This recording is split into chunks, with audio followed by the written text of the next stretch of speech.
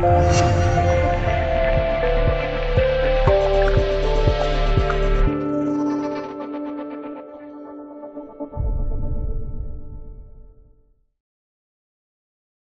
标题：背叛祖国，导弹专家为八千万叛逃美国。数月后，报世街头在美国的身上有两个具有魔力的标签，分别为强大的经济以及世界第一大国的地位。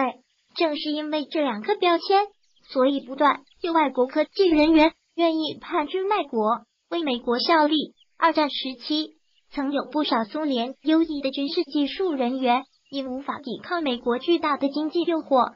而选择背叛苏联，苏联科技人员背叛苏联来到美国，成为了美国对外炫耀的资本。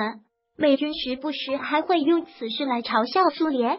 历史告诉我们，百分之八十的背叛者都不会有好下场的。前苏联的 S S 幺二中程导弹项目的总设计安德烈库里诺夫就是一个很好的例子。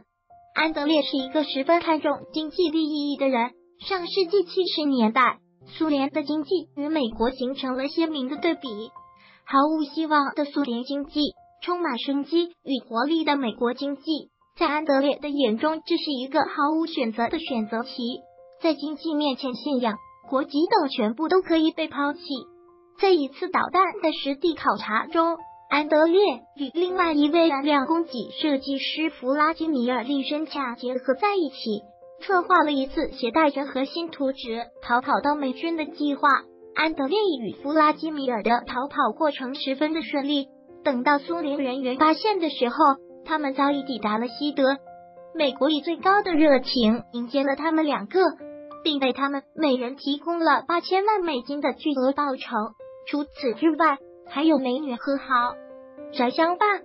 为了获取美国的信赖。安德烈不仅将自己从苏联带来的核心图纸交给了美国，还把自己知道的一切告诉了美国。之后，安德烈与弗拉基米尔开始在美国过上逍遥的日子。